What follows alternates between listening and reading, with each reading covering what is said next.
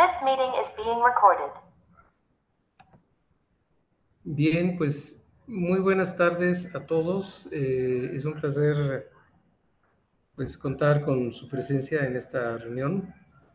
Eh, a- hoy nos va a hacer favor de encargarse de la sesión el doctor Eduardo Vázquez Fernández. Él es egresado del Departamento de Computación. Eh, él ha trabajado durante muchos años en cuestiones de cómputo evolutivo. Actualmente es profesor en la ESIME Culhuacán y pues sigue activo investigando en, en diversas áreas de la, de la computación. En esta ocasión pues nos ha preparado esta charla titulada SNP and SNP Q Systems. Entonces, bueno, pues, eh, pues adelante, Eduardo, eh, es todo tuyo el, el espacio. Sí, muchas gracias. Buenas tardes a todos. Sí, la plática es este, los sistemas SNP y los sistemas SNP con la variante Q, ¿no? Eh, vamos para allá. Básicamente la agenda, bueno, ver la definición de estos sistemas, ver algunos ejemplos y ver este, por qué han cobrado cierta rele- relevancia, este, sobre todo con respecto a la universalidad que se da este, relacionada con la máquina de Turing. Bueno, antes este, quisiera ver algunas definiciones básicas. Aquí veo que la mayoría son doctores, pero bueno, tal vez este, para entrar un poco en contexto. Entonces, tenemos un alfabeto B. Bueno, pues, ¿qué significa B asterisco? Pues es el, el, este, el lenguaje generado por B a través de la operación de concatenación y, este, y la cadena vacía, la cadena lambda. Y el conjunto de, de, este, de todas las cadenas no vacías, bueno, este, bueno, si, si al conjunto anterior B asterisco le quitamos la cadena vacía, pues nos queda B más, ¿no? Este, cuando B está conformado por un solo símbolo, este, pues lo, lo, lo, podemos denotar de, de esta manera, como aparece a continuación. A asterisco lo podemos escribir como A entre llaves y luego asterisco, y A más la entre llaves y luego el más, ¿no? Y este, finalmente con esta anotación, la longitud de una cadena de B asterisco, pues entre barras la denotamos. Bueno, este, los lenguajes regulares se definen precisamente mediante expresiones regulares. También puede ser a través de autómatas en sus variantes, ¿no? Como finitos, no deterministas, o los que tienen transiciones epsilon. Y este, y bueno, ¿qué operaciones tenemos en estos lenguajes? Bueno, pues tenemos la, la concatenación, como habíamos había comentado anteriormente, tenemos la unión y tenemos la cerradura de Klein, ¿no? Que la cerradura de Klein es básicamente este, pues un elemento del, del conjunto, concatenarlo consigo mismo varias veces. Básicamente, ¿cómo se definen las expresiones regulares? Estoy hablando de expresiones regulares porque este, lo que veremos a, a- continuación, los sistemas SNP y los SNQ, bueno, pues las, las utilizan dentro de las neuronas para poder disparar. Entonces, específicamente, bueno, lambda es la cadena vacía y el símbolo A que pertenece a B, pues son, es, es expresión regular, ¿no? Entonces, por otro lado, si nos dicen que uno es una expresión regular y E2 también es expresión regular, pues la unión, la concatenación o este, lo que habíamos visto anteriormente con cerradura de Klein, también sigue siendo expresión regular. Y tenemos este, pues algunas definiciones a- asociadas, este, bueno, eh, como, como lambda es una expresión regular, pues ¿quién es el lenguaje que genera? Pues el conjunto formado por lambda, ¿no? El símbolo A ya dijimos es una expresión regular, pues ¿qué lenguaje genera? Pues el símbolo, el conjunto formado por A. Y este, ahora si nos preguntamos por el lenguaje de la unión, pues va a ser la unión de los lenguajes o el lenguaje de la concatenación va a ser la concatenación de los lenguajes o el lenguaje de la cerradura de Klein, pues es el lenguaje del, de la expresión regular respectiva, en este caso de 1, pues a eso ya aplicándole la cerrado de clean. Bueno.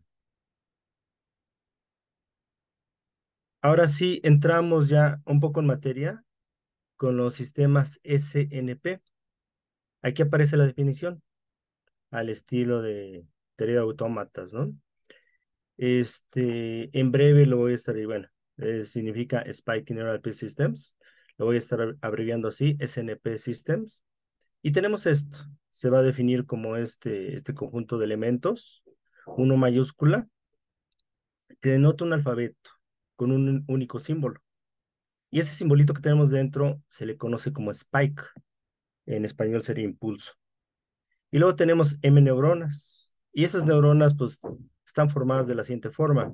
Cada una tiene este, cierta cantidad de spikes dentro y ciertas reglas, ¿no? Y esas reglas pues es donde interviene ya las expresiones regulares que vimos anteriormente. Entonces, ahora sí, NI es el número inicial de spikes contenidos en la, en la célula o en la neurona, y RI es un conjunto finito de reglas de la siguiente forma. Tenemos de dos tipos. El primero es como aparece aquí.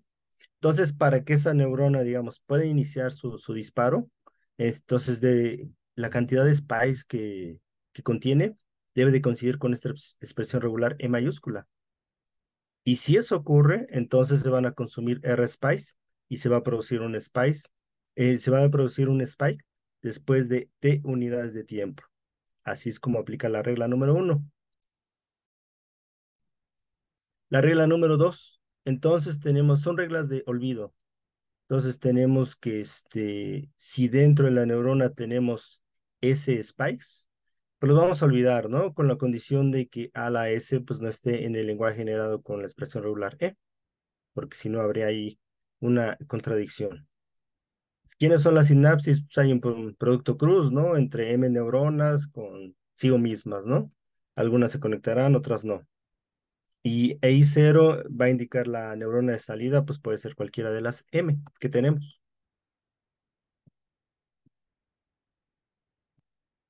Empezamos con estas reglas, las que había comentado al inicio. Estas se les llama en inglés firing o spiking rules, ¿no? Son las reglas de disparo.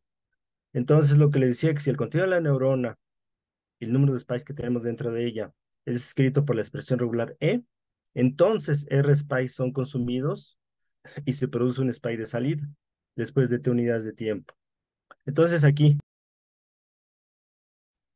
aquí es importante, aquí tenemos un reloj global de sistema, entonces este, esto debe estar sincronizado para que pueda funcionar.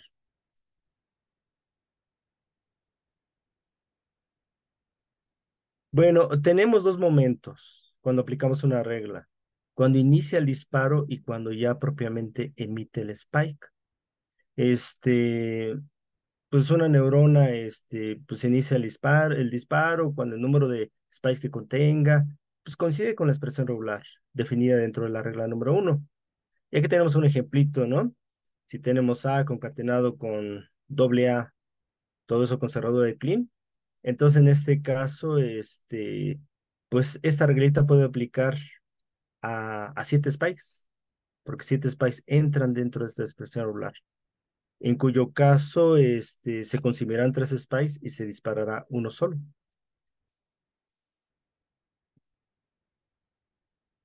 Bueno, esto es importante. A nivel de cada neurona, bueno, pues se trabaja en forma secuencial. O sea, para aplicar una siguiente regla de la neurona 3, tuvimos que haber aplicado, terminar de aplicar la regla anterior. Pero sin embargo, a nivel del sistema completo, se puede aprovechar el paralelismo. Se puede aprovechar el paralelismo en el sentido de que todas las neuronas pueden usar una regla al mismo tiempo si es que las expresiones regulares coinciden con el contenido de spikes en la neurona.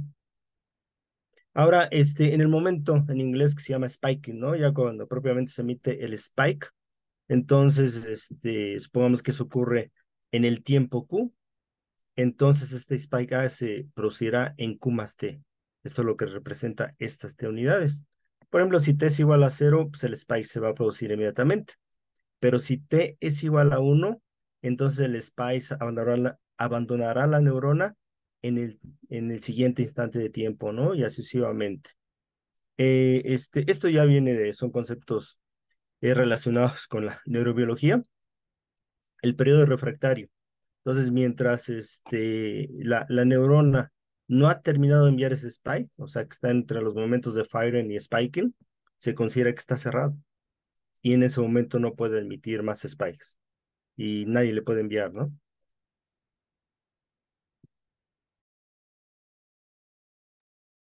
Entonces significa precisamente lo que está aquí para T mayor o que 1.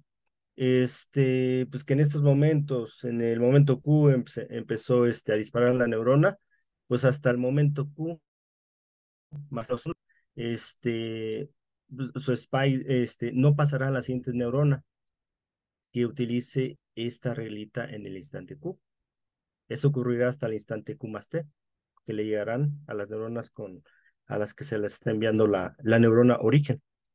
En el momento que este spike es emitido, la neurona puede recibir nuevos, nuevos spikes, ¿no? Como les decía, está en el, está en el periodo refractario.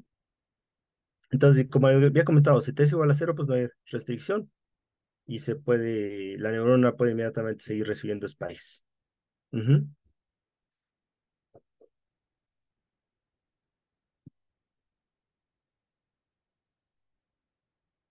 Bueno, este, ¿a quién le va a replicar los spies la neurona I?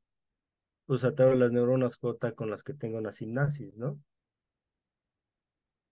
Entonces, este, pero bueno, si ocurre que todas las neuronas J con las que tienen sinapsis están cerradas, entonces ese spike se pierde.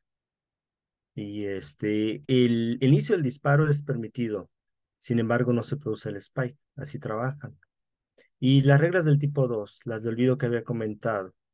Este, entonces, en este caso, la S spikes son removidos, olvidados de la neurona origen. Y esto va a aplicar solo, eh, exclusivamente a las neuronas que contengan S spikes. Bueno, como habíamos comentado anteriormente, las reglas pueden tener, las neuronas pueden tener varias reglas. Y este, y dentro de estas reglitas pues pueden ser la, las siguientes, ¿no? Aquí está mal la anotación, E1 diagonal A elevado a la R1 debe de ser. Y acá A elevado a la R2.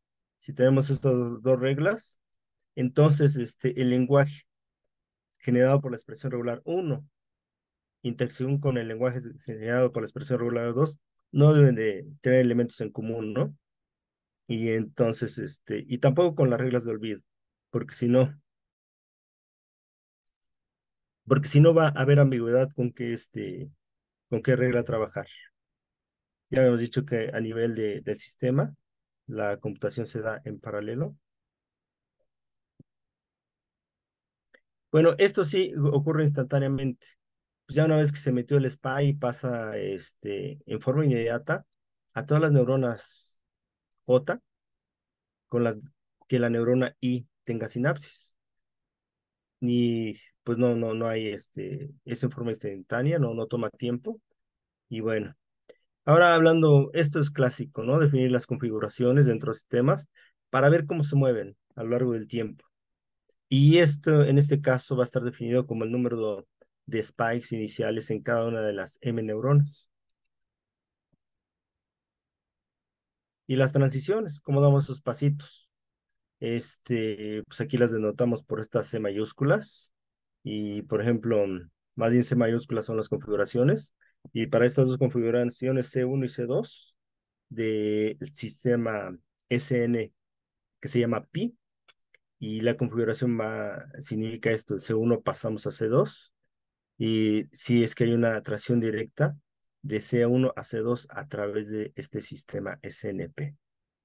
Y bueno, si damos varios pasitos, pues lo denotamos con esta anotación, ¿no? La flechita doble y arriba un asterisco. Y una secuencia de transiciones que empezamos con la configuración inicial es llamado cálculo o cómputo del sistema. Bueno, con un cómputo pues podemos asociar distintos resultados. Y aquí viene, hay muchas formas que se puede, que se utilizan para reconocer la salida de estos sistemas. Una posibilidad es contar el número de spies presentes en la neurona de salida cuando se llega a una, condición, una configuración de parada.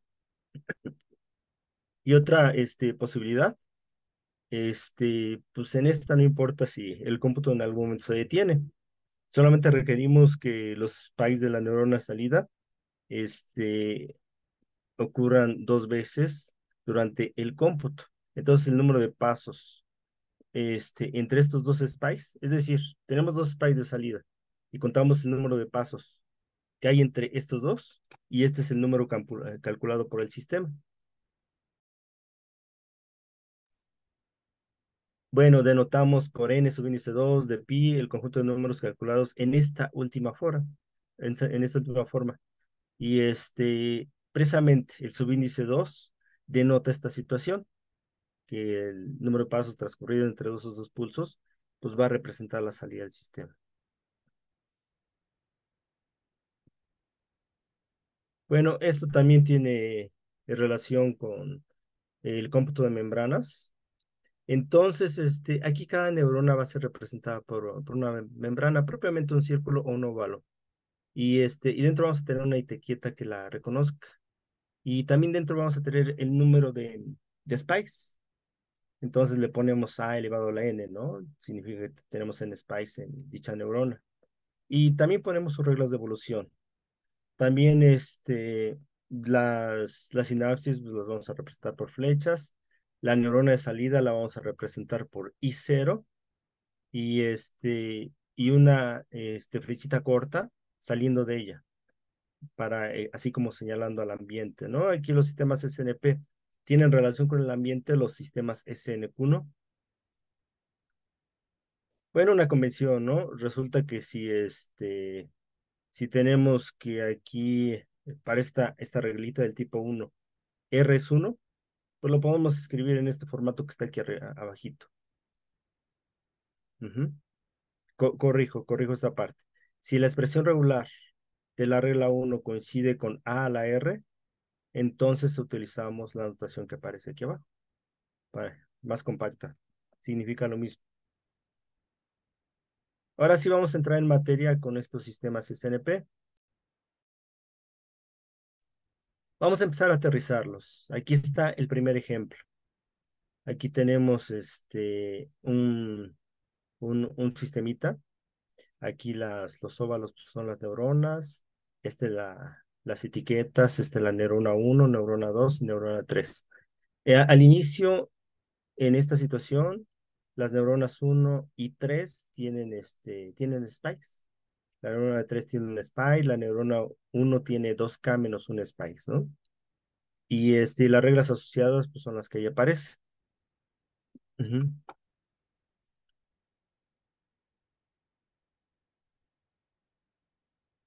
Bueno, en este caso, pues, ¿cómo va a trabajar este sistema? Pues la A y la neurona de salida la estamos indicando por esta flechita.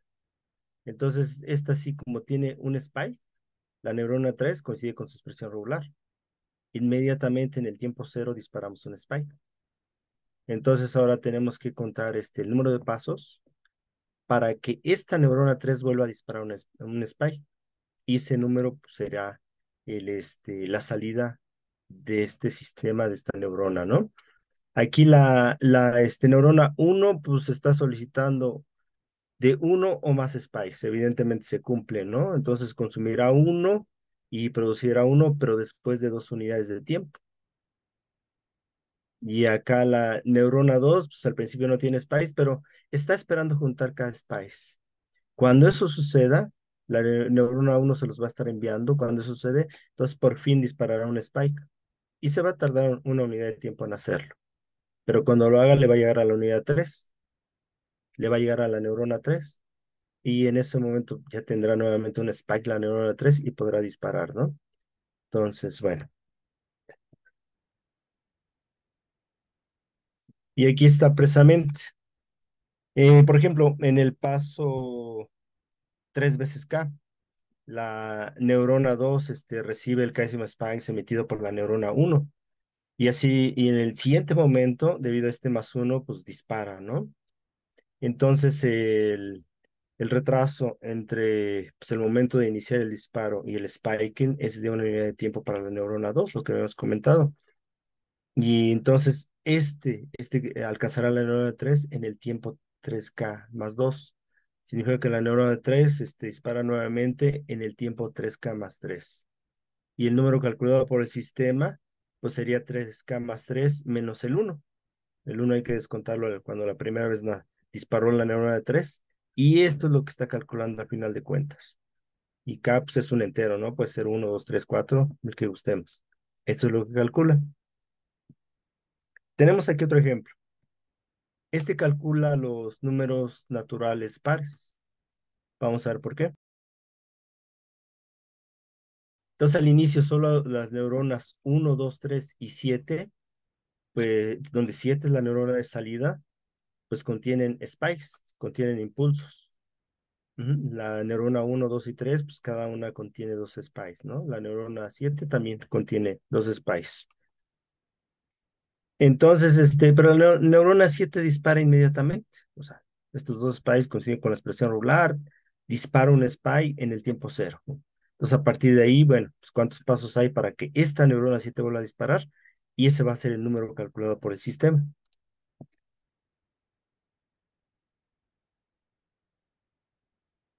Bueno, este, esta es una observación. En el tiempo, en el, en el primer este paso, las neuronas 1, 2 y 3, pues no pueden ocupar la regla A producen lambda, ¿no?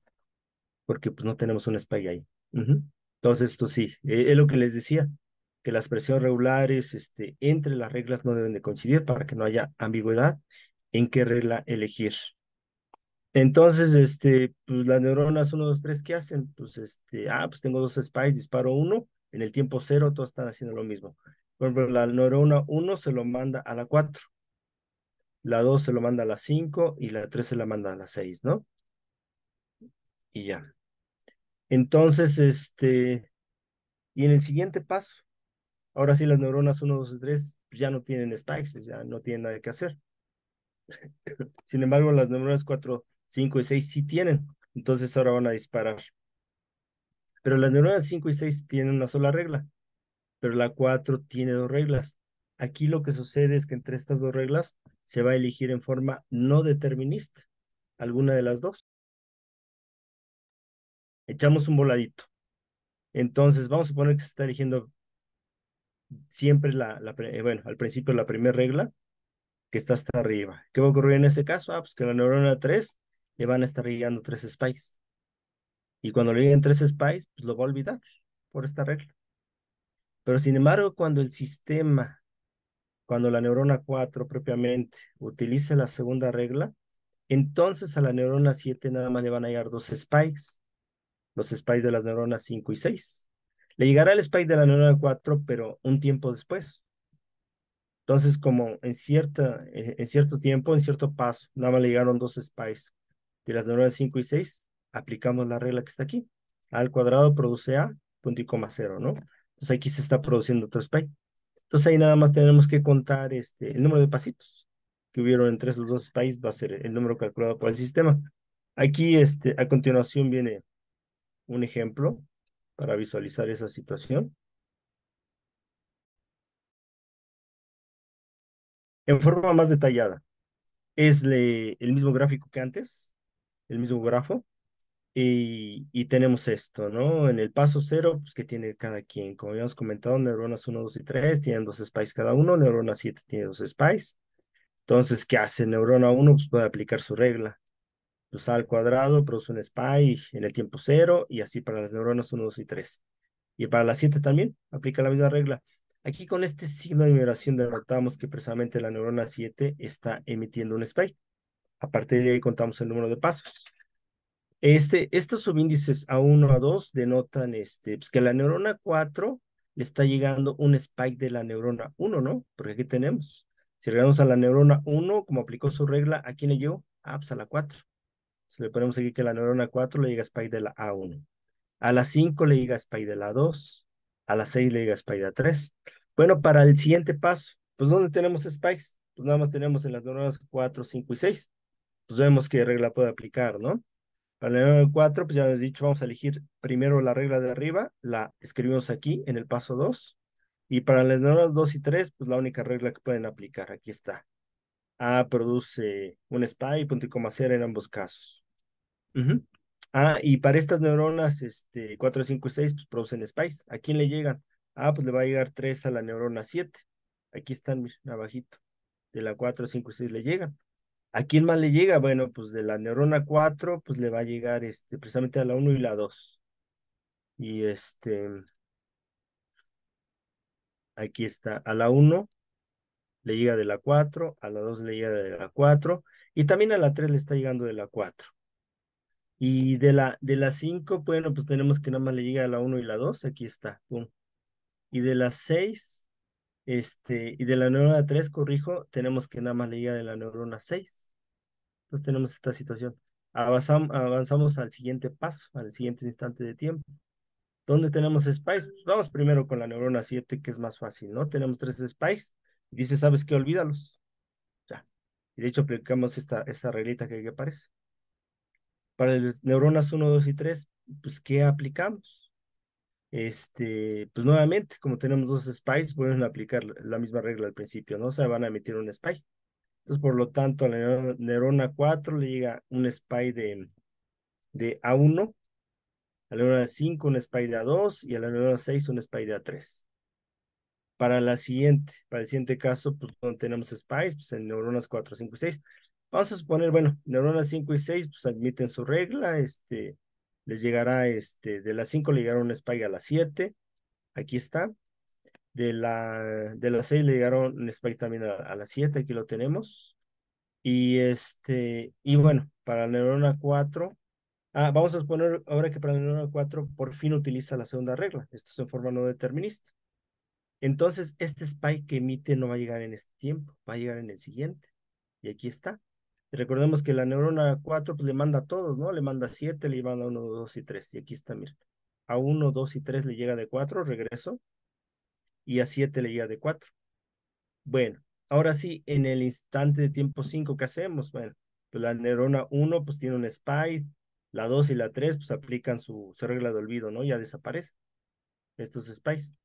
Y la neurona este, 7, pues tiene un spike.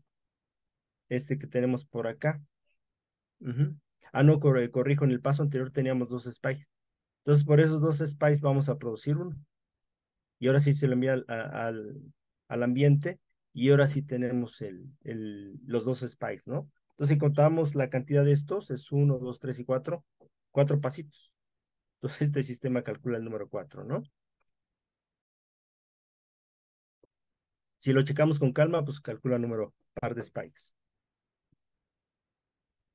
Mm, aquí tenemos otro sistema distinto. Este calcula todos los números naturales, pero mayores que uno.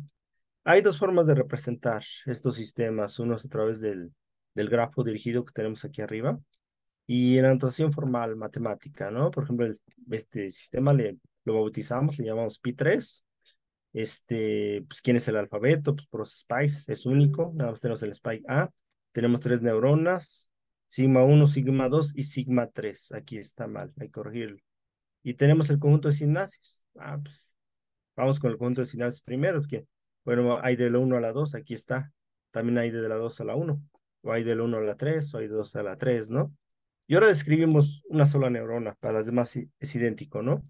Por ejemplo, para la neurona 2, ¿cuántos spikes tiene? Bueno, pues tiene dos. Y entre llaves, ¿quiénes son sus reglas? Pues al cuadrado diagonal A, que produce un spike, aquí lo tenemos en el tiempo cero. O la regla de olvido produce lambda. Y así para las demás. Bueno, ¿qué está haciendo esto? En el, al principio, pues todas las neuronas tienen spikes, o sea, una tiene dos spikes, la neurona 3 tiene tres spikes y la neurona dos tiene un spice.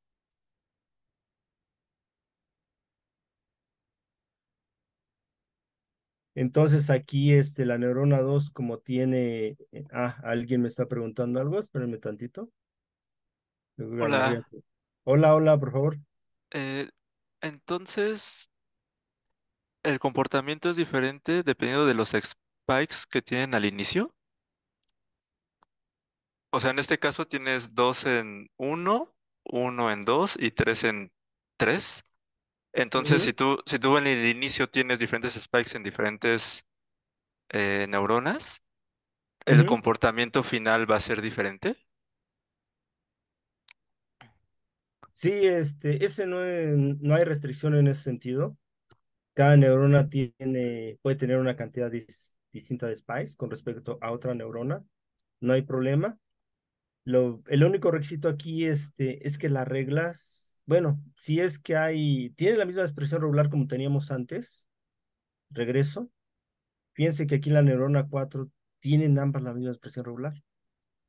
Eso, eso es válido, eso puede ocurrir. Pero aquí lo que les decía es elige en forma no determinista entre las dos reglas. Mi, mi- duda es que, por ejemplo, en el anterior calculó ¿Eh? 4, Ujú. pero hubiera calculado otra cosa si al inicio en 1, 2 y 3 hubieras tenido diferentes spikes. Ah, sí, sí, sí, cambia. Eh, hay que diseñarlo así, este, si en vez de a uno le ponemos, en vez de dos spies, le ponemos tres spies, o le ponemos cuatro spies, para, para empezar, si le pusiéramos tres spies ya no hace nada, en base a estas reglas, ¿no? Porque ninguna aplica. Ah, va, va, va. ¿Sí, más o menos? Mi, mi duda era, mi otra duda era, por ejemplo, si tuviera tres spikes, podría primero aplicar A cuadrada, bueno, A2, y, y después dejar un spike en A1, bueno, en, en esa neurona. No, no ¿Cómo? aplica. No, Ah, ya, no. ya. O sea, las spikes Sí, están como, como juntas. sí, exacto. Sí, sí, Ah, tiene que aplicar, por ejemplo, aquí yo te pido dos spies y esta neurona tiene dos spies. Si tiene una cantidad distinta, esta regla no va a aplicar. no va a aplicar. Porque si no, habría, en ese sentido, habría ambigüedad aquí, ¿no? Por ejemplo, la Sí, regla de ¿cuál aplicas? Ajá, ¿cuál aplicas? cual aplico, porque pues un spike finalmente también lo tiene, tengo dos. Claro, No, no, claro. no. Debe ser exacto la coincidencia. Esta me pide dos spies, ah, pues aplico este. Y tengo dos, puede aplicar.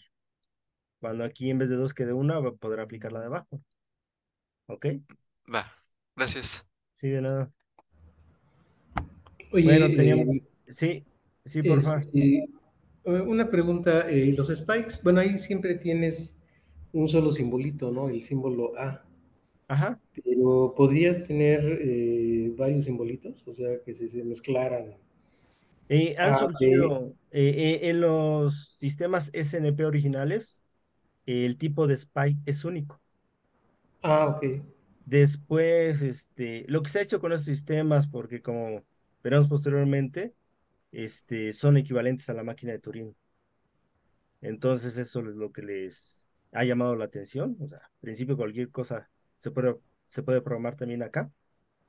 Y entonces, este, pues, eh, eh, entonces se, ha buscado explotar esa situación y empezar a aplicarlos, ¿no? A cosas en concretas, cosas prácticas. Y en esa aplicación han surgido nuevas variantes de sistemas SNP. Hay otra variante que se llama eh, sistemas SNP con spikes de colores.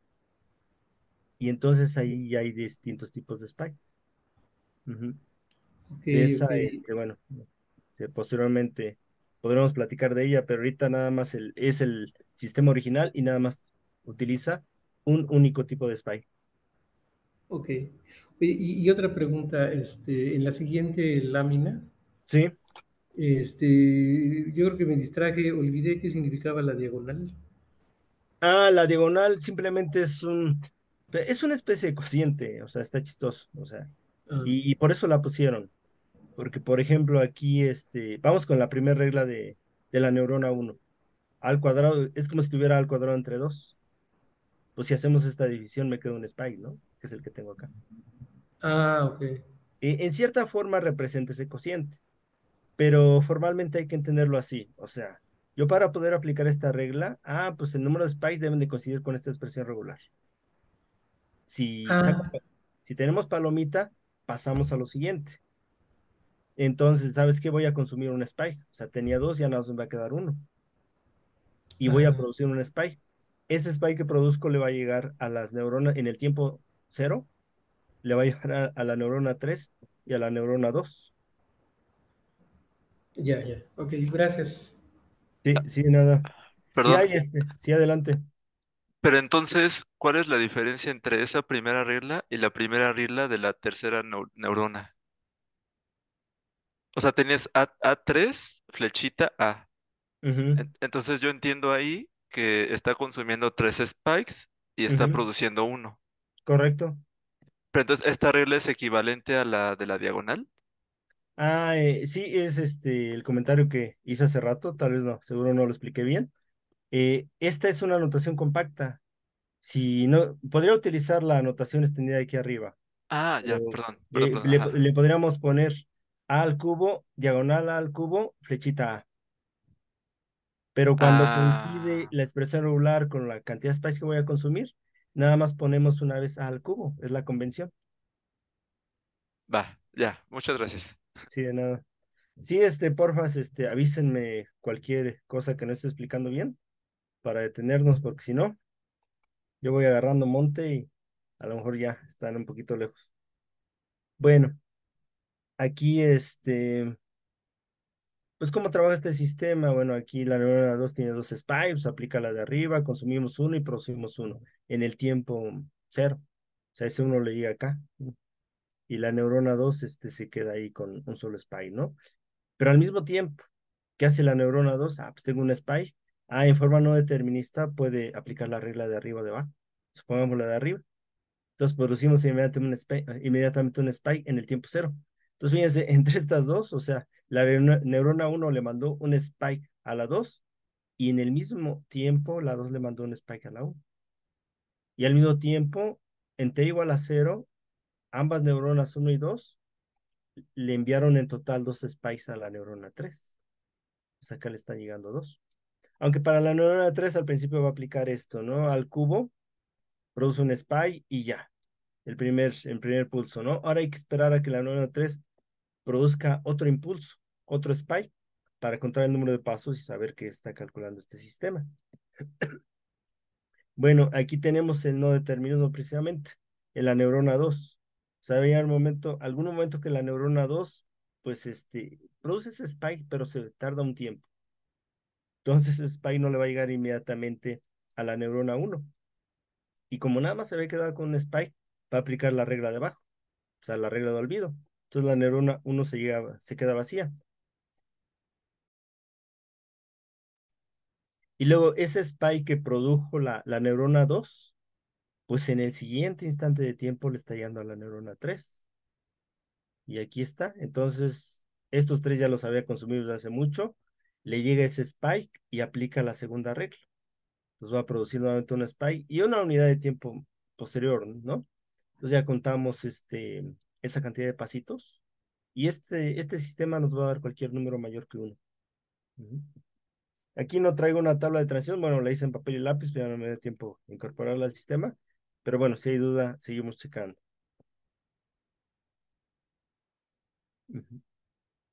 Ahora entramos en materia con los sistemas, ya me pasé, SNQ. Y bueno, pues ¿cuál es la diferencia? Que en los sistemas SNP, ¿quién inicia la comunicación? Pues la neurona que emite el spike. Y en los sistemas SNQ, ¿quién va a iniciar la comunicación? Pues la neurona, ahora va a ser la neurona que va a recibir el spike. Y por eso este SNQ viene de Spike Neural Systems, este, with communications on request, ¿no? Con comunicación en demand. O sea, la neurona receptora va a solicitar cierta cantidad de spice a la neurona emisora, bueno, y aquí dan algunos argumentos, este, las personas que han motivado estos sistemas, por ejemplo, en un, cuando estamos navegando una página de internet, pues es un ejemplo de una comunicación de este tipo, ¿no? La emisora es la que solicita la página. O también cuando hacemos una llamada telefónica, ¿no? Y entonces alguien llama a otra persona y está solicitando que, que le responda. Esto es así, es lo que significa ese, los sistemas SNQ, SNP Systems with Communications by Request. Eh, estos solamente tienen reglas, este, ah, y solamente se le pueden requerir spice a las neuronas vecinas, evidentemente con las que se tenga sinapsis, ¿no?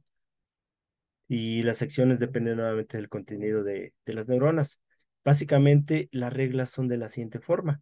Ahora tenemos esta sintaxis. Nuevamente la E mayúscula es la expresión regular, igual que antes. La expresión regular la cantidad de spikes este, que contenga la neurona respectiva debe de coincidir con esta expresión regular para poder aplicar la regla. Si no coincide, pues ya, ahí no hace nada esta neurona. Y ahí ahora sí tenemos varias consultas. Y es lo que significa la Q, Q de query, ¿no? Entonces aquí la, esta neurona le va a solicitar a la neurona J1 N1 spikes del tipo A. Nuevamente, eh, aquí tenemos un tipo de spike. Va a haber varios en, este, en los sistemas SNQ. De momento es uno solo. Y así sucesivamente hasta la neurona JM, ¿sabes qué? Mándame NM spikes. Es lo que significa. Y bueno, si estas neuronas J1, alguna de ellas no puede satisfacer, satisfacer la solicitud, entonces la regla no será aplicada, ¿no? Es una especie de AND, AND lógico. Si alguna query no aplica, si la expresión regular no aplica, nos olvidamos, ya esta neurona no, no, no va a aplicar esta regla. O si alguna de las queries falla, ya no hacemos nada. Y bueno, bueno, si tenemos estas queries A elevado al infinito, coma J, significa que de la neurona J, tráete todos los spikes.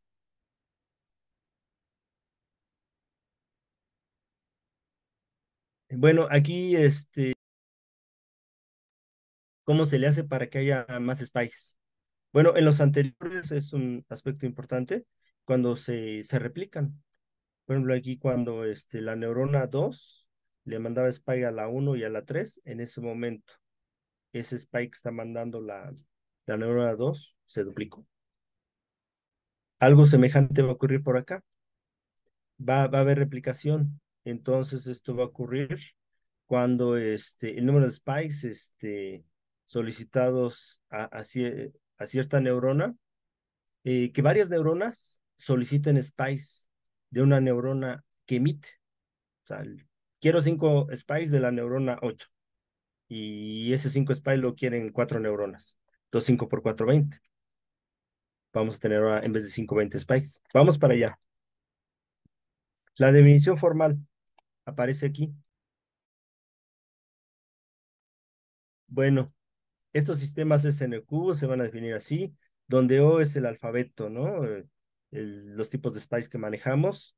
Ahora sí tenemos de distintos tipos, desde A1 hasta acá, lo que comentaba el doctor Feliu.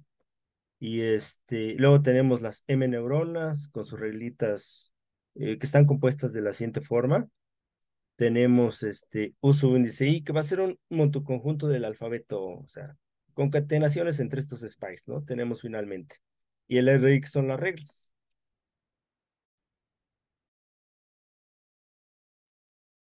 Aquí este, el RI es el conjunto finito de reglas, en notación compacta, así se ve, E diagonal Q, W donde es una expresión regular sobre el alfabeto W, y W es un conjunto finito de, de consultas, que puede ser de esta forma o de esta forma.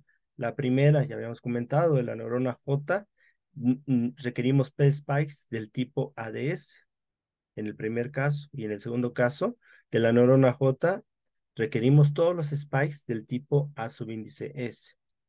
Y bueno, A subíndice I de 0 es el tipo de spice que vamos a considerar para calcular la salida.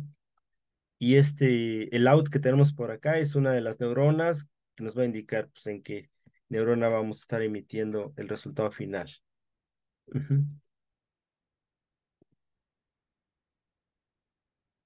Ah, este, ahora la asignasis aquí es implícita, ¿no? Porque en estas reglas, como veremos posteriormente, en estas queries, queda, queda este, dada en forma implícita la, la sinapsis. Entonces necesario, no es necesario escribirlo aparte. Las configuraciones, en este caso, ¿cómo se definen?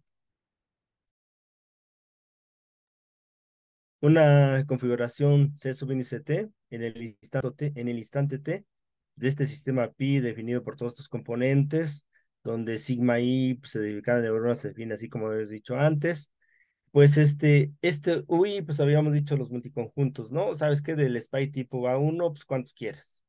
Del SPY tipo A2, ¿cuántos quieres? Del, del SPY tipo A subíndice K, ¿cuántos quieres? Este, y precisamente aquí dice, es escrito por el número de SPIs de cada tipo presente en la neurona. Bueno, se utiliza esta notación para describir la configuración C subíndice T para este, para la primera este, neurona, aquí tenemos el 1, pues cuántos spies del, tipo 1, cuántos spies del tipo 2, y así cuántos spies del tipo K, ¿no? Y así hasta la neurona M, cuántos spies de cada tipo.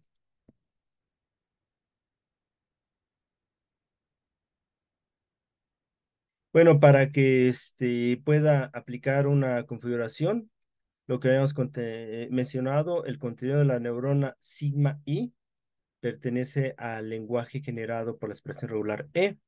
Y todas las consultas W deben satisfacerse, ¿no? Y bueno, eso ya. Ah, este, puede haber situaciones, casos particulares, conflictos. Por ejemplo, aquí, supongamos que con estas dos neuronas L1 y L2, hay estas dos, este, dos consultas, este R1 y esta R2 que tenemos aquí.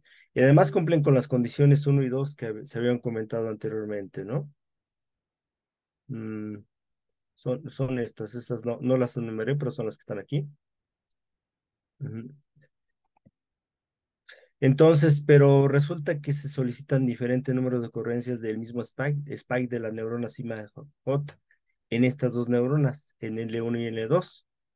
Este, y en este caso, bueno, para resolver esa ambigüedad, lo que se hace es elegir en forma no determinista entre la regla R1 y R2.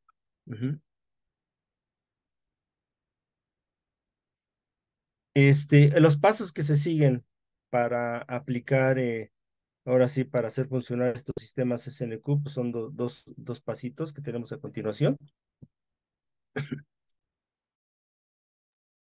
En cada una de las neuronas elegimos este, aplicar una regla y checamos si es posible, ¿no? Tenemos que hacer este, tres cosas. Uno, que la expresión regular corresponda al contenido de la neurona.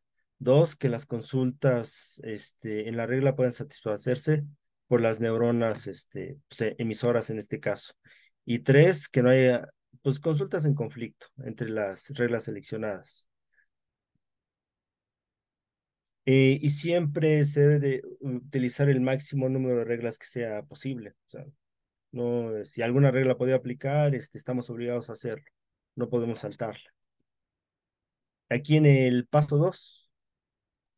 Entonces, ¿qué hacemos? Los spikes este, requeridos son eliminados de las neuronas donde están presentes.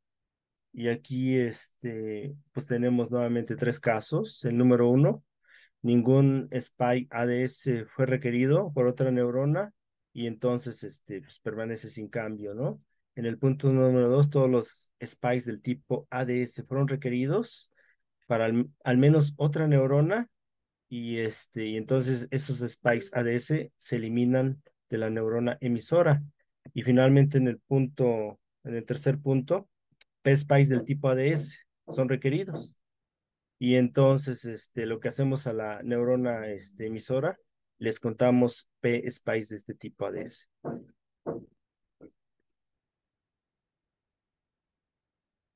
Bueno, los pasos anteriores, aunque son varios, se hacen en una unidad de tiempo. Y, este, bueno, de esta forma vamos saltando de una configuración a otra y una secuencia de tales transiciones de una configuración a otra a partir de la configuración inicial es lo que se conoce como cálculo o cómputo del sistema.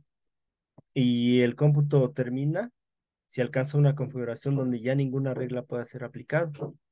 Y el resultado del cómputo es el número de copias de este spike que habíamos mencionado antes a subíndice I0 presente en la neurona de salida.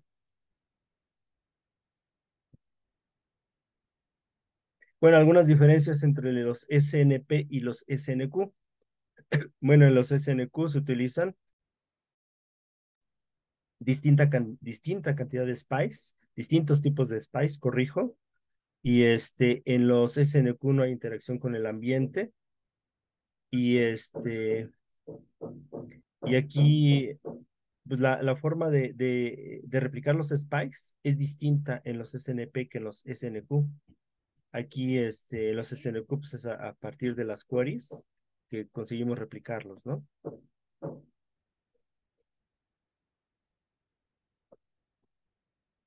Bueno, vamos a, ver algunos ejemplos para aterrizar esto. Eh, vamos a denotar por N de pi. Bueno, pi es un sistema SNQ que así lo bautizamos.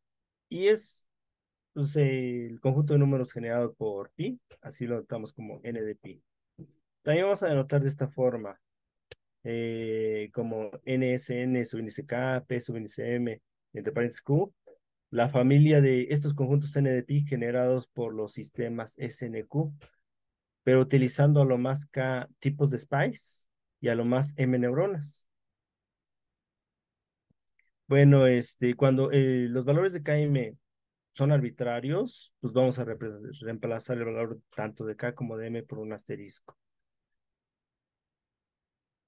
Bueno, aquí empiezan a ocurrir jerarquías, ¿no? O sea, en el sentido de que si utilizo una neurona, pues ¿qué puedo generar? Si utilizo dos neuronas, ¿qué puedo generar? Si utilizo tres neuronas, ¿qué puedo generar? Entonces, este, se van definiendo jerarquías. Y aquí tenemos, ¿no? O sea, algo que se antoja lógico.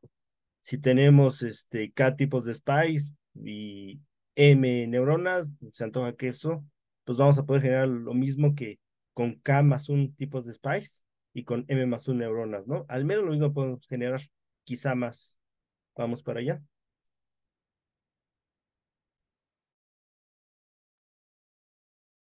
Este, bueno, sistemas con una única neurona, pues no pueden hacer nada. Y solo generan este, conjuntos con un único símbolo. O sea, la cantidad de spice que tengan ahí dentro es lo único que pueden reportar y se acabó, ¿no? Eso ya este, viene aquí reportado como un lema, ya notación matemática, este, pues, tienes cada tipo de spice con una neurona, ese K lo puedes reemplazar por asterisco, o sea, métele todos los tipos de spice que quieras, pues viene a notar, es igual a estos cinco donde este signo denota esta familia de conjuntos con un único símbolo, ¿no? Bueno, sistemas con dos neuronas, pues también son limitados, pero ya pueden generar un poquito más. Entonces aquí tenemos, ¿sabes qué? Aquí el, debe ser P subíndice 2 en ambos casos. un detallito. Y luego este, tenemos cada tipo de spice o cualquier cantidad de, de tipos de spice y nos genera esto que se conoce como fin. Y es este, eh, son conjuntos finitos de números. es lo que va a generar. Y aquí tenemos, tenemos un, un sistema SNQ que hace precisamente eso. Bueno, ah, vuelve a aparecer a continuación, es el mismo, para que no, este, no, no, no, no piense que es otra cosa. Y aquí Vamos a ver qué hace este sistema. Tenemos la neurona 1, la neurona 2. Ahora la neurona 2, eh, corrijo, la neurona de salida lo marcamos así como diagonal out. la neurona 1 no tiene regla. Nada más tiene NK spice del tipo A. Y la neurona 2 pues, no tiene spice al inicio. Entonces, evidentemente va a aplicar su expresión regular lambda. Y entonces pues, va a hacer una query. Y en esta query, ¿qué hace? Además, esta query pues no es una query, son este, en realidad cada queries, cada consultas. Entonces, entre esas cada consulta se elige en forma no determinista cierta cantidad de spice de, de la neurona 1. O sea, a lo mejor quiero un spike de 1, a lo mejor quiero dos spikes de 1, a lo mejor quiero tres spikes de 1, a lo mejor quiero 50 spikes de 1, el límite es K, ¿no? Entonces, si me traigo 50 spikes de 1, pues ya lo reporto en la neurona salida, pues lo que me genera es un 50 me genera un 1, un 2, un 3, hasta el valor de K. Entonces aquí se ve precisamente que se está cumpliendo con esta situación. Regreso. Eh, eh, que denota la familia de conjuntos de finitos de números. Cualquier conjunto finito de números, pues lo genera este sistema que tenemos aquí abajito. Ya se va robusteciendo, ¿no? Ahora, este, pues, ¿qué sucede si pasamos de dos a tres neuronas, pues ya se incrementa un poquito el poder de cómputo de estas cosas. Este, bueno, eh, aquí tenemos, sabes que vamos a manejar un único tipo de SPICE y tres, tres neuronas, ya podemos sacar cualquier progresión aritmética. Por ejemplo, esta misma figura es la que aparece a continuación. Bueno, aquí están las dos descripciones, ¿no? Tanto en forma de grafo como la notación formal. Y aquí tenemos un conjunto que representa precisamente una, progresión aritmética. Un N0 más un I por N1, donde N0 y N1 pues, son mayores o iguales que 1, y el I es mayor, corrijo, donde N0 y N1 son mayores. Bueno, N0 mayor, que, mayor o igual que 0, N1 mayor o igual que 1, y la I también es mayor o igual que 1. Bueno, vamos a ver cómo trabaja este sistema. Entonces, este, pues al principio, ah, fíjense aquí, la neurona 1 también puede elegir en forma no determinista entre estas dos reglas, porque la regla, la primera regla pide N1 spice y la regla 2 también. Elegite, supongamos que elegimos la primera. Y, este, y aquí la, la neurona 2, que es la de salida precisamente, pues al principio sabes que necesito N0 spice, cumple. Porque A elevado al N1 y todo eso asterisco, pues puede ser la cadena vacía, o sea, nada más tenemos, nada más al principio necesitamos N0 spice o N0 más un múltiplo de N1 spice, ¿no? Lo que requerimos aquí. Y la neurona 3, pues al principio también cumple con su regla, necesitamos N1 spice, pues también, también trabaja. Entonces, este, pues, ¿qué hacemos en este caso? La neurona 1 se va a traer N1 spice de la neurona 3, en efecto lo satisface. Digan para acá. La neurona 2 se trae N1 spice de la neurona 1. En efecto, los puede traer. Entonces aquí ya eh, en este paso, en la neurona 2 llevamos N0 más N1.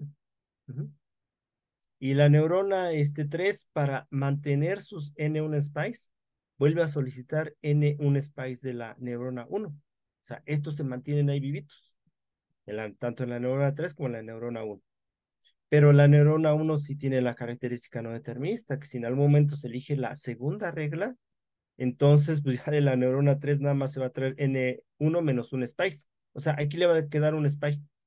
Y ya en el siguiente paso ya no va a aplicar esta regla. Y acá como se trajo una cantidad menor de N1 spice, en el siguiente paso ya la, la neurona 1 tampoco va a poder hacer algo. y en esos, esos últimos N1 spice, pues le llegan a la neurona 2 entonces analizamos esa situación, pues a la neurona 2 que le está llegando. Pues N0 spice más un múltiplo de N1 spice, el múltiplo que ustedes quieran. En otras palabras, estamos generando este lenguaje que aparecía aquí antes. Precisamente una progresión aritmética. Bueno, eh, y finalmente, pues también este, con tres neuronas podemos generar más, ¿no? Bueno, aquí está eh, el lenguaje generado por pi, es la progresión aritmética finalmente, lo que hemos dicho. Este, y también podemos generar lo que se conoce como conjuntos no semilineales. Por ejemplo, este, pues una, una cantidad exponencial de, de spikes se pueden generar con este sistema, ¿no? Vamos a ver cómo trabaja. La neurona 2 al principio tiene dos spikes, la neurona Corrijo, la neurona 1 al inicio tiene dos spice, la neurona 2 no tiene spice y la neurona 3 no tiene spice. Evidentemente, aplica la expresión regular de la neurona 2, tenemos land spice, también para la neurona 3, ¿no? Entonces, ¿qué hace la neurona 2 y 3? Ah, ¿sabes qué? Ah, aquí se va lo que les decía de replicación de spikes. La neurona 2 y 3, de la neurona 1, tráeme todos los spice del tipo A. O sea, estos dos se van a venir para acá. O sea, la neurona 2 le llegan dos spice y a la neurona 3 le llegan dos spice en paralelo. Y la neurona 1, ¿qué hace? Vamos a suponer que está aplicando la primera regla. Bueno, no puede aplicar, no puede aplicar en este paso porque al inicio, porque tiene dos spice. Entonces, más bien cuando todos los spice se bajaron, se vinieron las neuronas 2 y 3. Ahora sí la neurona 1 quedó con lambda spice, con ningún spice y ahora sí va a poder aplicar en forma no determinista alguna de estas reglas. Supongamos que la de arriba. Y la arriba, ¿qué hace? Ah, pues, ¿sabes qué? La neurona 2, tráete todos los spice, o sea, teníamos dos, estos dos suben. De la neurona 3, tráeme todos los spice del tipo A, estos dos suben. Entonces, aquí en la neurona 1, en vez de 2, ya tenemos 4. Entonces, estamos calculando en este caso 2 a la 2, ¿no? Vamos a suponer que seguimos trabajando. Ahora la A y las neuronas este, 2 y 3 pues ya quedaron vacías, ya puede aplicar su expresión regular. Entonces, pues ahora se traen todos los spice de 1, o sea, estos cuatro se bajan, tanto a la neurona 2 como 3. Y ahora la neurona 1 quedó vacía. Vamos a suponer que aplica nuevamente la regla de arriba. ¿Sabes qué? Tráete los 4 de la neurona 2 y tráete los 4 de la neurona 3, ya tenemos 8. Ya calculamos 2 al cubo. Y eso podemos calcular 2 a la cuarta. 2 a la quinta, 2 a la n se puede calcular. Y en algún momento detenemos. Para eso es la segunda regla. Supongamos que en cierto paso se elige esta segunda regla. Entonces ya nada más de la neurona 3 nos traemos este, un spike. Entonces va a quedar con cierta cantidad de spikes ahí dentro, a lo mejor siete, ¿no? La neurona 1, pues ya ni caso le hicimos, quedó con los ocho spikes. Y la neurona este, 1, pues tenía mm, la, ah, sí, estos ocho spikes que tenemos aquí, en la ya los que están reportando. Y aquí pues, ya la neurona 1 queda finalmente con un solo spike. Entonces aquí, este, este sistema calcula este, spikes que son potencias de 2. Eso se les conoce como conjuntos, no son, no son de números, no son milineales. Y bueno, pues creo que ya se terminó el tiempo. Eh, esta es la explicación que acabo de dar. Este, y termino con el siguiente teorema, ya no, ya no hay este, ya no me da tiempo de, explicarlo. Y, y qué sigue, ¿no? O sea, está bien ya con una neurona, ya vi que puedes generar con dos, con tres neuronas, etcétera. Ahora si sigo incrementando el número de neuronas, pues, ¿qué puedo generar finalmente? Entonces está este teorema que dice que es precisamente la universalidad de los sistemas SNQ. Y bueno, son precisamente computacionalmente universales. Y este, pues basta con que utilicemos dos tipos de spikes y cierta cantidad de neuronas. Nosotros definiremos cuántas. Y ya, conseguimos, con esto conseguimos generar cualquier cosa que pueda generar una máquina de Turing. Entonces, bueno, pues aquí este, quisiera concluir la presentación. Este, creo que ya son las cinco. Si hay algún comentario, duda, con mucho gusto, por favor. Bien, pues muchísimas gracias, Eduardo. Está muy, muy interesante la charla. Y pues no sé, este, pues adelante, quienes tengan dudas, quieran hacer preguntas, comentarios, por favor.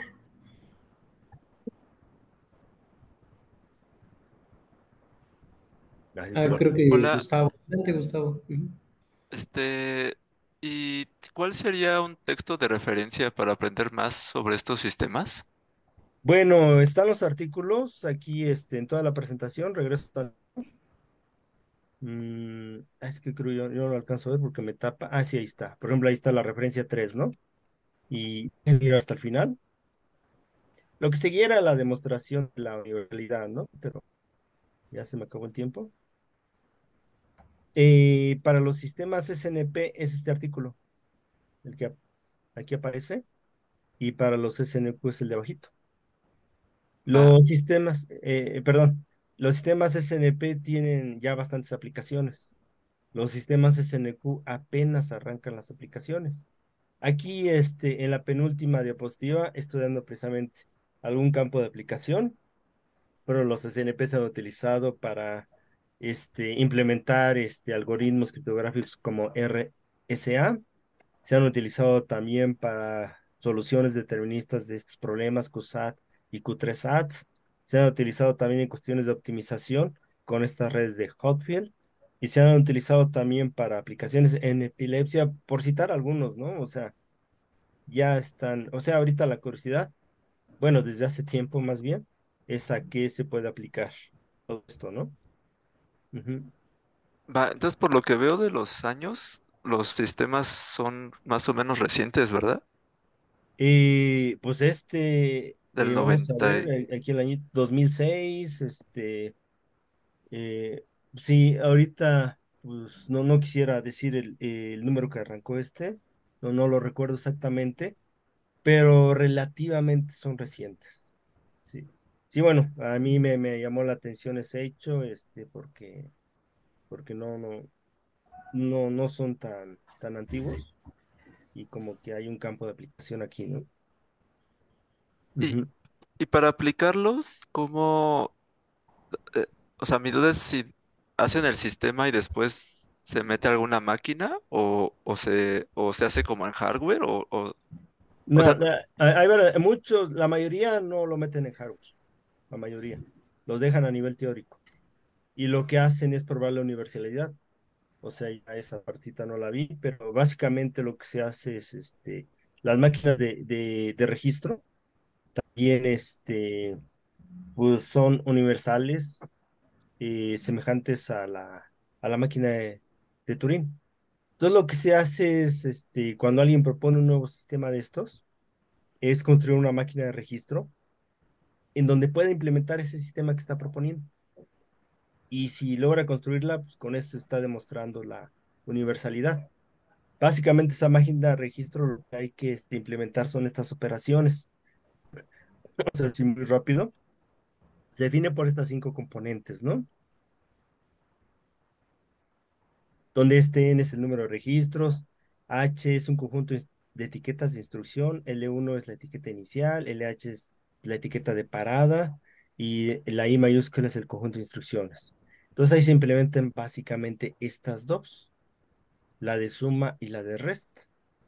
La de suma que significa pues, agregar uno al registro 1 y después vete en forma no determinista al registro LJ o al registro LK o a las este, etiquetas LJ o LK. Y este, hay que implementar también esta operación de, de resta y lo que hay que realizar es restar este 1 al registro R y después ir, este, ir a la instrucción LJ si en efecto se le pudo restar uno, o sea, si había en R un valor positivo, ¿no? Y si en R está guardado el cero, pues nada más se va uno a la instrucción LJ. Y básicamente es lo que se hace. Y algunos otros ya están intentando llevar esto a hardware, ¿no? Es otra alternativa. Gracias. Sí, de nada. Bien, eh, a mí me gustaría pues, preguntar un poco sobre el origen. Creo que la N significa neural. ¿Por qué, por qué, la, por qué el nombre neural? Es que, por ejemplo, cuando uno... Ah, bueno, sí, adelante, adelante. Sí, sí, pero no, no, dime, por favor. Es que, eh, por ejemplo, en las redes neuronales así tradicionales, pues les dicen redes neuronales, pero no tiene nada que ver con las, con las neuronas biológicas. O sea, los estudios que han hecho los neuro cirujanos y toda la gente que trabaja pues realmente con neuronas de de veras, pues los modelos son espantosos, ¿no? Es, es, bastante, es bastante complejo. Y bueno, pues, la, pues, el, modelo de las redes neuronales, de los perceptrones, todas estas cosas, pues realmente son idealizaciones pues bastante, eh, pues bastante elementales, ¿no? Y, esto, pues sí se me antoja como que podría ser algo más cercano al funcionamiento de una neurona, pero pues tampoco sé si efectivamente eh, salió de ahí o, de dónde sale todo esto. ¿Tienes idea? Sí. sí, no, tienes razón. Lo que acabas de comentar es cierto. Pues son aproximaciones, ¿no? Y el campo está abierto para seguir robusteciéndolo. En este caso, ¿por qué neuronal? porque bueno, pues tenemos neuronas, ¿cómo es el funcionamiento así básico de las neuronas en el cerebro? Pues tienen este, impulsos, esos impulsos son enviados de una, neurona, de, unas, de una neurona o de unas neuronas a otras neuronas a través de la sinapsis. Y aquí precisamente se trata de imitar ese funcionamiento. Y acá los impulsos ya les llamamos spice y tienen que estar viajando de, una neurona a otra, ahora pues aquí se activan con expresiones regulares, este, etcétera. Pero es lo que está detrás, ¿no? Eh, al final de cuentas, coincido contigo, es una aproximación y el, el campo, el terreno, pues está abierto para seguirlo robusteciendo.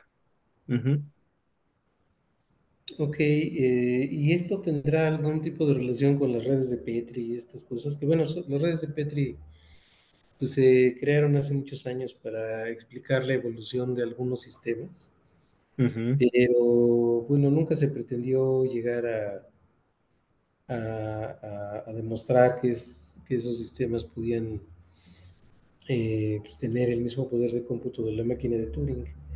Pero no sé, este, ¿hay, hay, alguna, ¿hay alguna conexión? Porque esto se parece mucho, o sea, incluso lo que decías hace rato de, de utilizar colores para los spikes y ese tipo de cosas, pues existen las redes de Petri coloreadas y eso, y son, pues, o sea, como que hay un grafo, este, se tiene esta idea de, de que se van transmitiendo elementos de cierto nodo a otro en el grafo y así.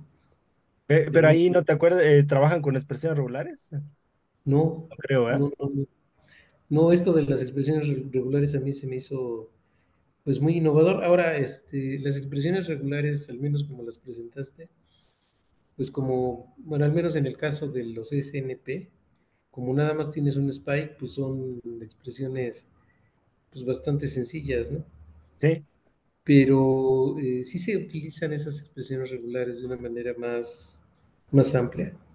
sí, sí, sí, porque ya después este, siguen los temas SNP con espacios de colores. De hecho, aquí los temas SNQ, bueno, creo que, ah, bueno, ya no vimos este, para la demostración de la universalidad. Aquí sí ya intervienen dos tipos de spikes. Por ejemplo, aquí se tiene la operación de este, ah, de suma. Entonces aquí tenemos spikes del tipo B y aquí un spike del tipo A. Y entonces aquí podemos ver en esta, mira una expresión regular ya un poquito más robusta, como la que Sí, quieres. Cualquier sí, cantidad de spikes del tipo A y después seguido de esta cantidad T más I menos uno, spikes del tipo B, ¿no? Sí, y pe- sí surgen de repente. Eh, sí, eh, sí, ya en los diseños que se hagan en concreto, de repente este, aparecen expresiones regulares más complicadas, ¿no? sí. Sí, sí, sí. Bueno, no, en las redes de Petri, pues ahí lo que se hace es más bien contar. Si, si tienes tantas este, pelotitas de tal color, pues haces tal cosa y así. Pero, eh, pero acá, pues ya con la expresión regular puede incluso influir el orden en el que aparecen y eso sí ya las redes de Petri no, no lo manejan.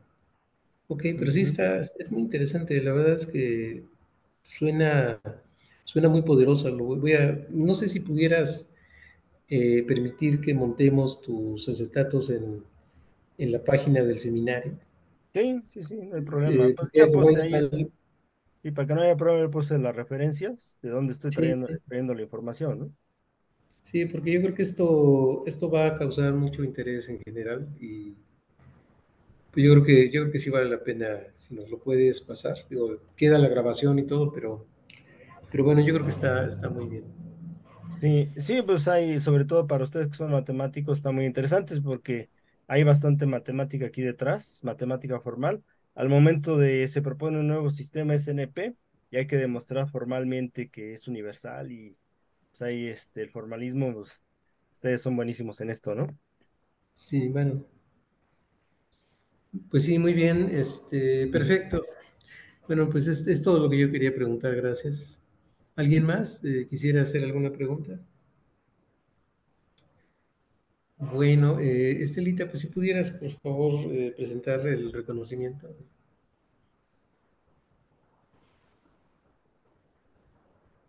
Bueno, mira, eh, nos entregaron, como te decía, el diseñador gráfico no, este, no pudo terminarlo a tiempo, se me perdió. No, no, Es- no te preocupes. Pero este, el que te vamos a entregar sí ya viene con firmas, sellos y todo lo, y todas las formalidades.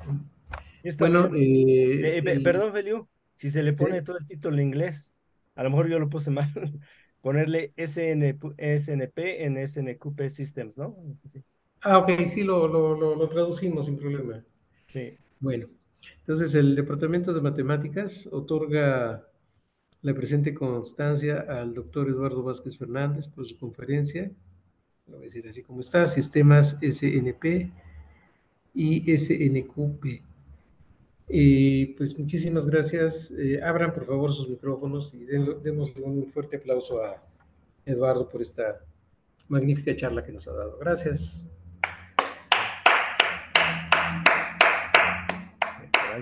gracias, gracias. Bueno, eh, pues eh, les informo que pues ya vamos a terminar la próxima sesión, que será la próxima semana, porque recordarán que tuvimos que hacer un ajuste con Eduardo, porque él no podía presentar la semana pasada.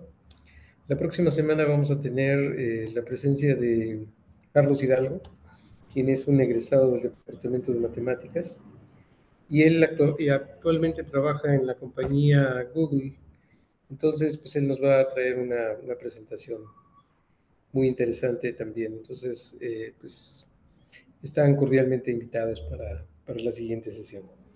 Pues muchas gracias a todos por su presencia y pues espero que, espero que sigan acompañándonos en, en lo que queda de, en lo, que, en lo poquito que queda de seminario para este año.